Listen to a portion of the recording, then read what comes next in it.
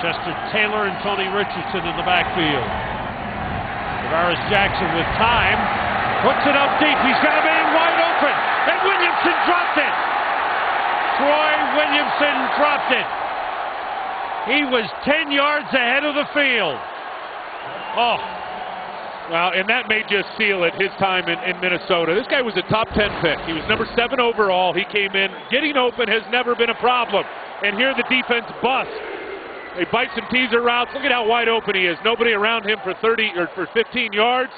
Hits him right in the middle of the chest plate and he can't Oh, hang on. man. That has been his MO. And listen, when you're a receiver in pro football, I think your job description is you got to be able to catch. And he hasn't been able to catch it.